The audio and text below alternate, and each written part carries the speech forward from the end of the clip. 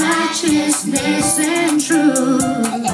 Yeah, for live as the children of light, for the fruit of the light consists of goodness, righteousness, and truth. Goodness, righteousness, and truth.